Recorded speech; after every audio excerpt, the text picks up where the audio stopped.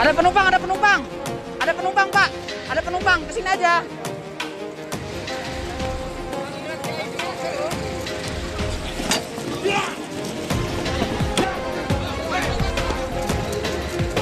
Udah, udah.